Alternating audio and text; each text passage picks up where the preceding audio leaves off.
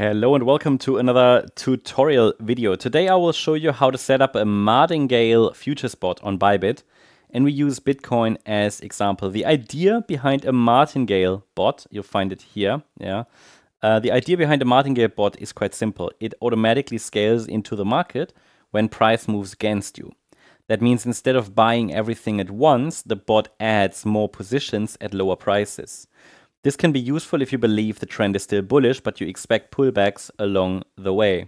So let's imagine we have um, some money to invest, yeah, or to trade with, and we want to scale into Bitcoin as it dips. So let's first of all create this margin martingale bot. So we go to manual, go to long because we would, obviously in this case we keep it simple. We say we want to trade on the long side we have Bitcoin USDT futures martingale already invest, uh, not invested, selected. And um, we'll just select 300 USDT here. And let me take you through the parameters here and how it works. Um, now, how do the parameters work? First of all, it's not a grid bot. A grid bot trades in a range and you have like grids where the price buys and sells.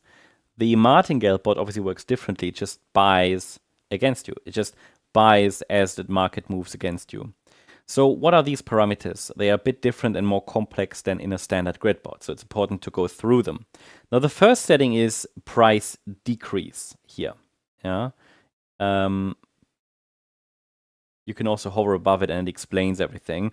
But yeah, price decrease, it tells the bot when to add a new position. So if I set it at, for example, 5%, probably quite a bit too much, probably 1%, yeah. If I select it, uh, set it at 1%, for example, um, the bot will add to my position every time Bitcoin falls by 1% from the last entry. The next one is the position multiplier. It's now at 1.1. It defines how much bigger each new order will be. Because as I explained, the martingale bot will buy as the market moves against you, but it will normally at least increase the position size. Yeah, so basically you double down as the price goes against you. A multiplier of 1 means all orders are the same size. A multiplier of 2 means each order doubles in size. That's very aggressive. So a value like 1.1, 1.2, 1.3 is more balanced and it increases gradually, but not too quickly. Yeah. So we could just select 1.1. Let's leave it as it is. The next is a profit target. Uh, per, no, max max additions actually. Um, this simply limits how many times the bot is allowed to add. So if I set this to five, for example, yeah. If I select set it to five, then it is allowed to add five times before it stops adding new positions. Then we have profit target per round, which is here. And um, this is basically your take profit level. So for example, if I set it to, you could say 2%, um, the bot will close the entire position once it's back in profit by 2%. This means the bot aims for small, consistent wins, right? This is not to trade a breakout to the upside. It's not, it, it, it, you know, it's not for holding for very large moves. Let's talk about leverage as well, because it's a futures bot. Bybit defaults to five times leverage, but that can be quite risky for martingale because your position size grows as the market moves against you. So you could um, set set it. You know, if you if you're just starting out, right, you could start with two or three. Yeah.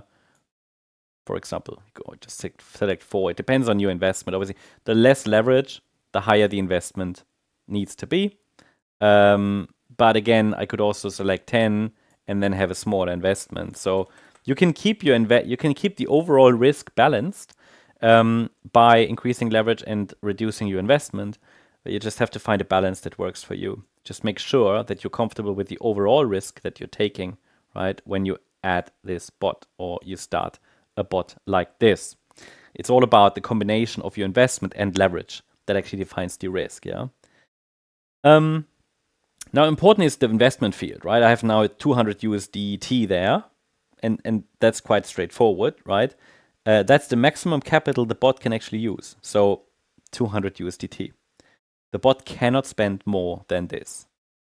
And finally, and this is very important, let's talk about stop loss, because this is where I think many people might get confused. it's the most important part, obviously. So if you do not set a stop loss, the bot can keep scaling into losses until your entire investment is gone. With a stop loss, you define the maximum amount you are willing to lose. So for example, if I set it at 30%, yes, if I, if I set it at 30%, this would define my risk.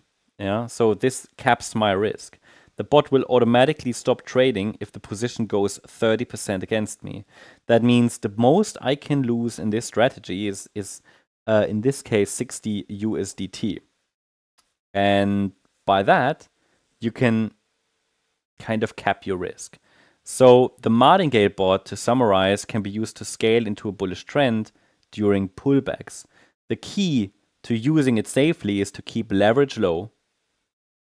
Yeah set a clear stop loss, and accept that you are aiming for many small wins rather than one big move. So hopefully that helps you understand what a martingale futures grid bot, uh, it's not a grid bot, futures bot can do. We have partnered with Bybit, one of uh, the world's largest crypto exchanges. If you'd like to try this strategy yourself, you'll find our official Bybit partner link in the description below. By using it, you support this channel and future tutorials, and you'll also receive a 10% discount on trading fees for the first 30 days. Make sure you trade responsibly and let me know in the comments if you'd like me to further cover advanced bot setups in the future. Thanks so much. Bye bye.